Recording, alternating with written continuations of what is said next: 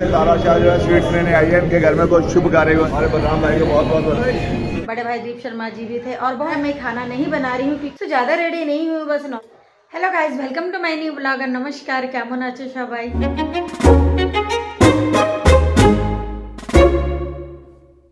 So final आज की morning बहुत अच्छी हुई है। क्योंकि हस्बैंड जी ने मुझे सरप्राइज़ देने की कोशिश की है सो मैंने सरप्राइज़ होने नहीं दिया। तो आज सुबह के सारे काम वगैरह करके मैं निपटा के फ्री हो दिन के बज गए हैं साढ़े ग्यारह, मैं खाना नहीं बना रही हूँ क्योंकि मेरे हस्बैंड जी ने बोला है कि चल तुझे मैं बाहर खिला के लाता हूँ।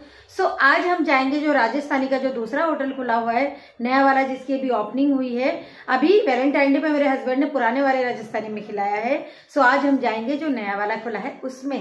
सो मेरे हस्बैंड जी गाड़ी निकाल रहे हैं और मैं चलती हूँ, मैं हो गई हूँ रेडी सो ज़्यादा रेडी नहीं हुई, बस नॉर्मल हुई हूँ। और नाश्ता वगैरह मैंने सब बना दिया है। अगर बच्चे उठेंगे तो नाश्ता कर लेंगे, क्योंकि मेरा बेटा घर पे नहीं है, बेटी है।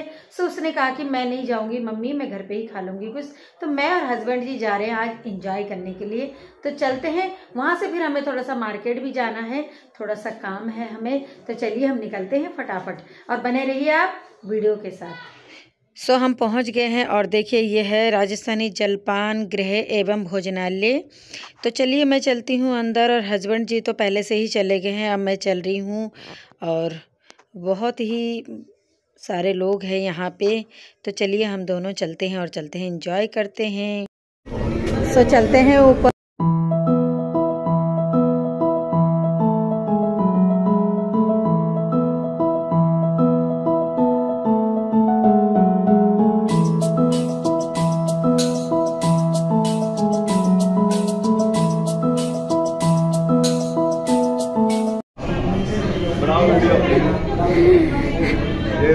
राजस्थानी स्वीट्स है ताराशाह जो है स्वीट्स लेने आई है। इनके घर में कोई शुभ कार्य हुआ इसके लिए स्वीट्स लेने इनको बहुत बहुत बधाई। हमारे बलराम भाई को बहुत बहुत बधाई।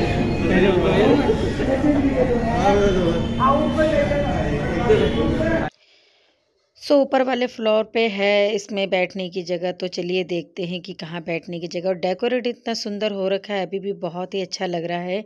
और गुब्बारे भी बहुत अच्छे लग रहे हैं, देखिए। चलिए अपना सीट देखते हैं कि कहाँ बैठना है। सो so, यहाँ पे जो है दो किचन है। एक किचन तो अंदर है और एक किचन जो है वो बाहर के साइड है।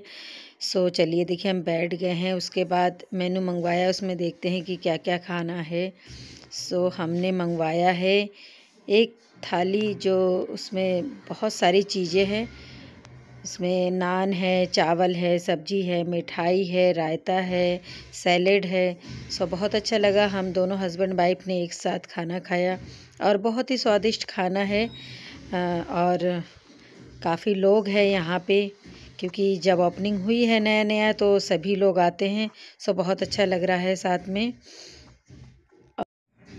सो हमने अलग से चावल और दाल मंगवाया और बहुत ही टेस्टी खाना था।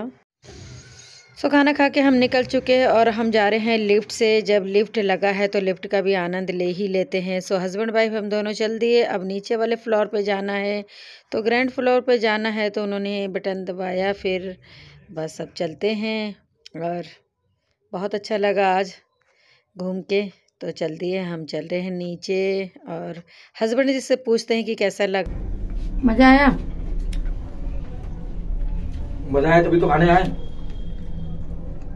तो हम टाइम से घर पहुँच गए थे और खाना वगैरह हमने वहाँ खाया, बहुत मज़ा आया खाना खा के खाना वगैरह काफ़ी अच्छा था वहाँ का, क्योंकि पहले वाले भी रेस्टोरेंट में उनका बहुत अच्छा खाना था और इसमें भी खाना उनका बहुत अच्छा था। लेकिन सर्विस में थोड़ा बहुत टाइम लग जाता है। जब आपने एक चीज़ मंगा लिया ऑर्डर में ही आधा घंटा लगा, दोबारा जब ऑर्डर करा फिर हमें टाइम लगा। थोड़ा सा क्या है सर्विस ढीली है, क्योंकि जब भीड़ होता है तो सर्विस में हो ही जाता है। बट टाइमिंग का ये चीज़, जब आप जाए तो थोड़ा सा टाइमिंग लेके जाए। सो हम घर पहुँच गए थे और काम भी मैंने स्टार्ट कर दिया। पार्लर में भी कस्टमर वगैरह आ गए, और भी कस्टमर बैठे हुए हैं। वैक्स वगैरह है उनका। सो जब हम घुसे होटल के अंदर तो एकदम से हमारे पूर्व नगर पालिका अध्यक्ष श्री बड़े भाई दीप शर्मा जी भी थे, और बहुत सारे लोग थे। सो बहुत अच्छा लगा उनसे मिलके, और कहीं ना कहीं मुलाकात हो ही जाती है भैया से।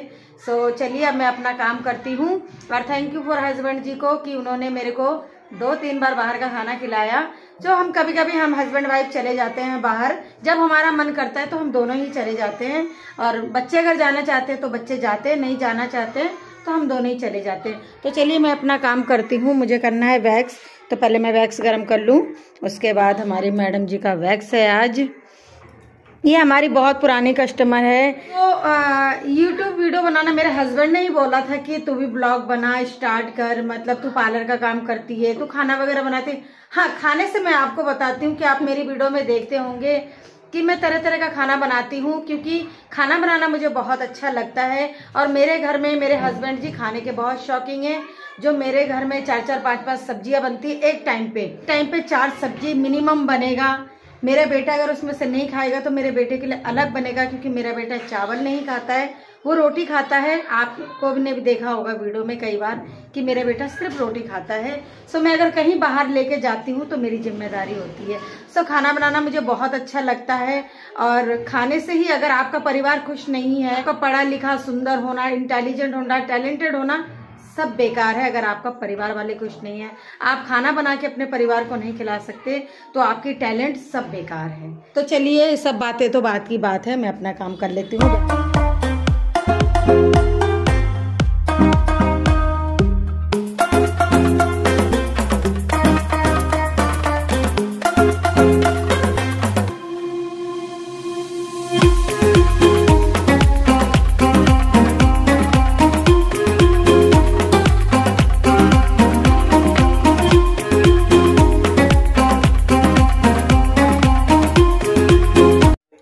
तो चलिए अब शाम की चाय बना लेते हैं और चाय बना रहे हैं हम काली, जो गुड़ की चाय पीते हैं हम हस्बैंड वाइफ सो हम वही बना रहे हैं और गुड़, चाय पत्ती डाल दिया, बस थोड़ा मुझे अदरक डालना है इसमें।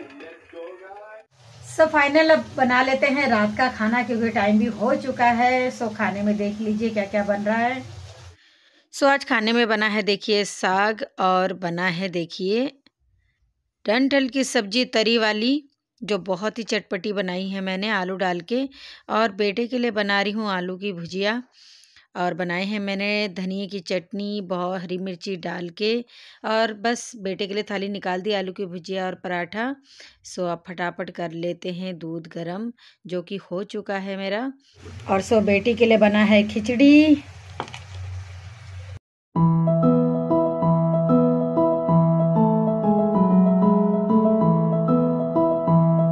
सादा खिचड़ी है सिर्फ़ मूंग की दाल की खिचड़ी बनाई है। सिंपल जीरे का तड़का देखिए क्योंकि उस, उसकी तबीयत थोड़ी सी ढीली सी है तो कुछ भी नहीं खा रही है। कह रही कि मम्मी खिचड़ी बना दो सादा सिर्फ़ जीरे से तड़का देखिए तो खिचड़ी बन चुकी है।